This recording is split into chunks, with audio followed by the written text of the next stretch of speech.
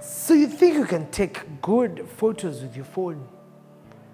Welcome to the world of professional photography. This is Founders Connect Africa.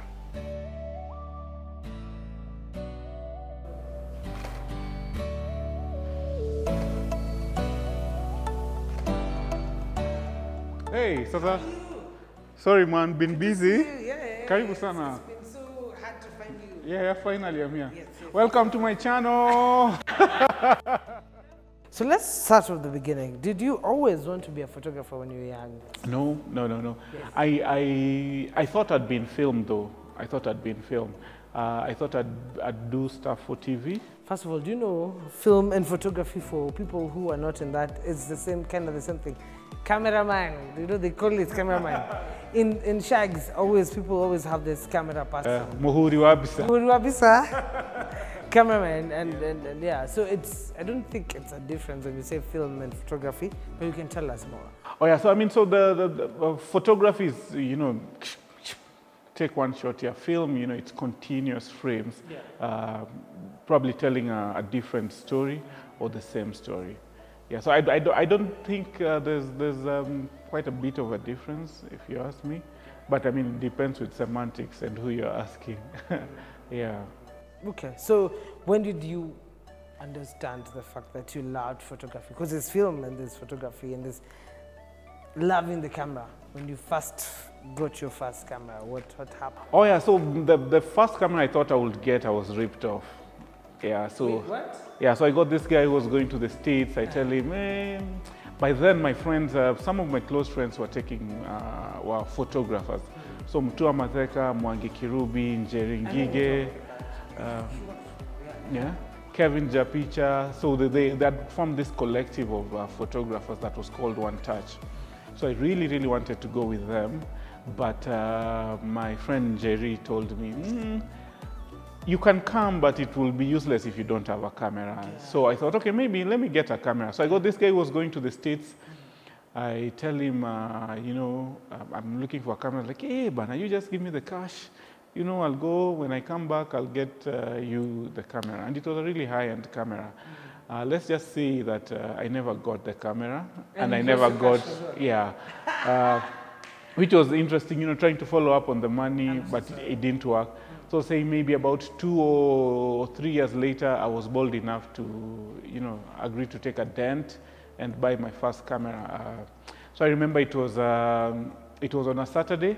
I was just coming from uh, BSF Bible study. Uh, I just got one of my friends and told him, uh, let's go to town, I want to buy a camera. So we went to Jamia Mall, went through the, The Uh, situation. yeah, went to Cameras Kenya, looked at the cameras. Uh, finally, I settled on a 60D, and that was my first, uh, my first. Your camera. first camera. Yeah. Okay. So before you loved the camera, were you doing any photography before? No, so I was in the advertising space. You know, um, Advertising. yeah, I've been uh, been uh, an agency guy for for some time. yes. Yeah. So. Of course, you know, working in agency, you you know need this image to go here, you need that image to go there.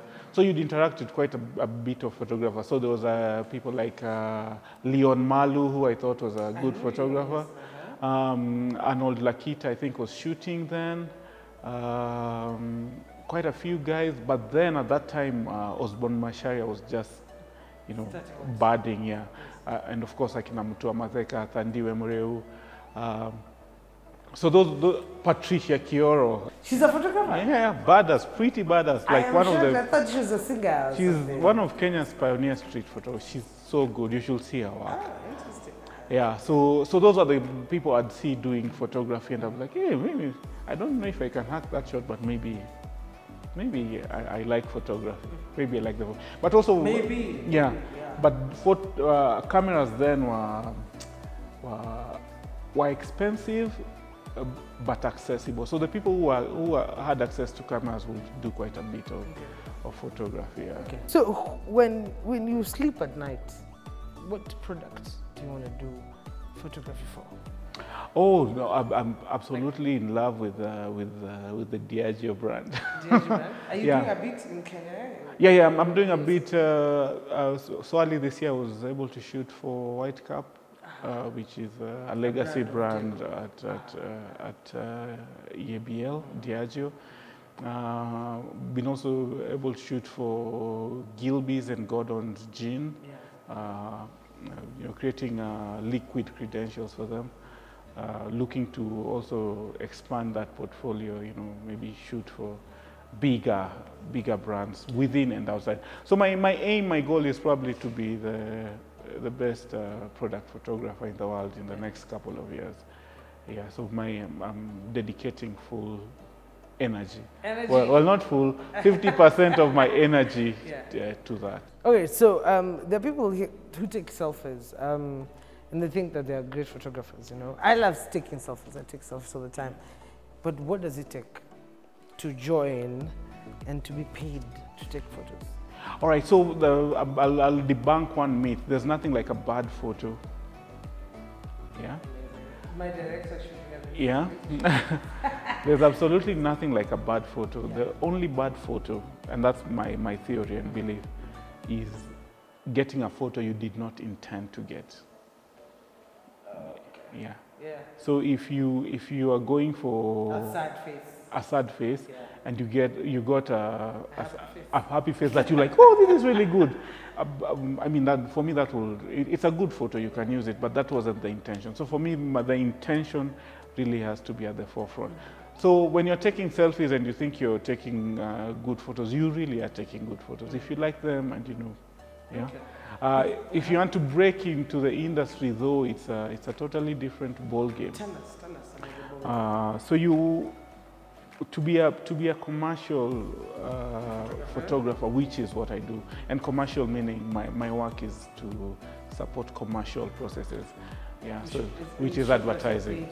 Take photos. Thanks, because we take photos. No, I mean you you have you have wedding photographers, but uh, you know you, you don't classify wedding photographers as commercial photographers.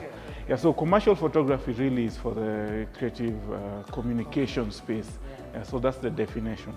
Uh, so if, if you if you want to get into the into the space, uh, you you have to pay your dues first of all. Like Pay your dues. like like everybody has to pay your and your dues is time, your dues is workflow, your dues is uh, uh, building a network. Uh, you have to build a brilliant portfolio uh, for you to even think of accessing uh, the space. I'll tell you a short story. I got a call from a friend uh, who works in the agency world as well. She was like, hey, we like your photos. Uh, we have this big client, a big hotel that was setting up in Nairobi, but had branches in Accra, Addis, and, uh, and Cairo. Huge Like, yes. Yeah, and I was like, hey, brilliant. Yes, we are rolling with the tunes. Oh, whoa, with a dab. huh? so, so they, we, you know, we spoke about it. They'd seen my work and they liked it. After we'd agreed over everything, we were sure, you know, we are sending our passports for visas and things like that. She said, oh, by the way, please send us your portfolio. So I, I you know, I, I mash up a few photos.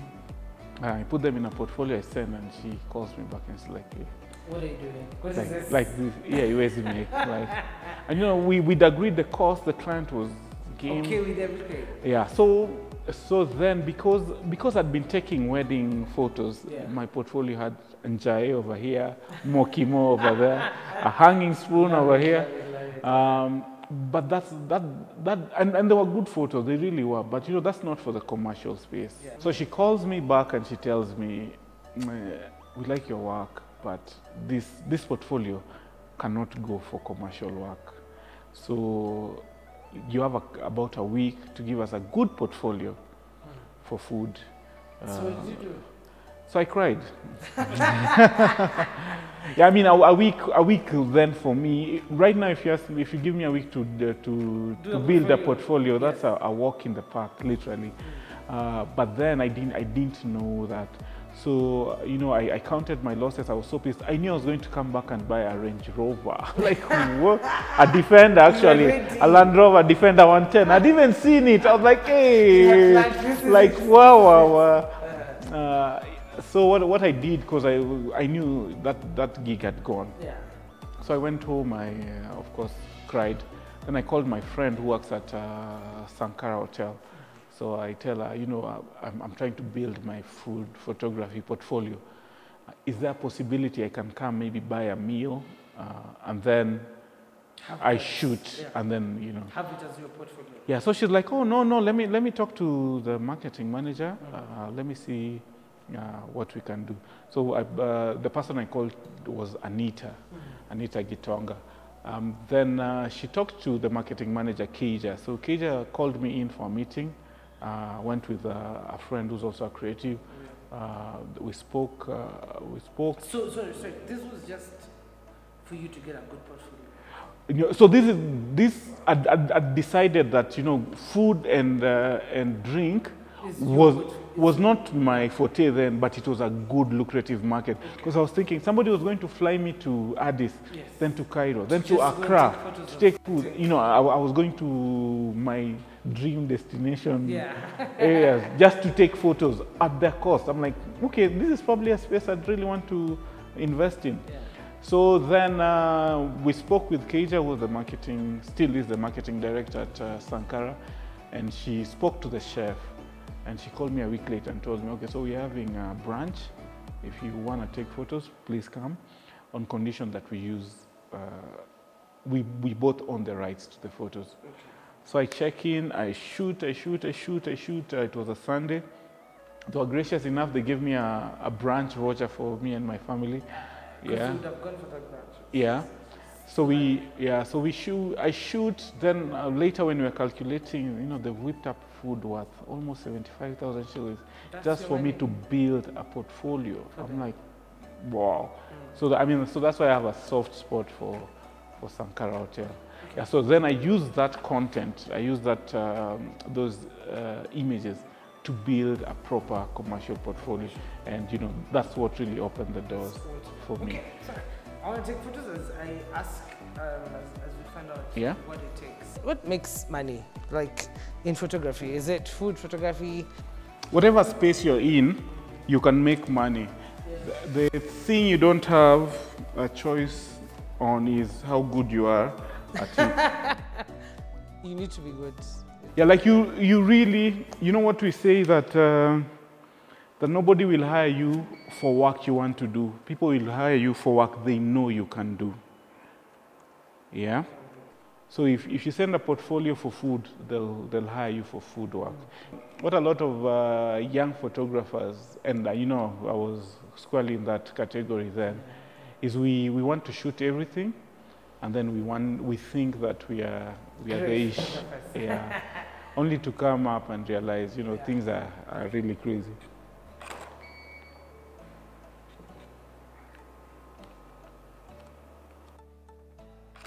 I need you to tell me uh, the products that you have done photography for, the people you've done photography for.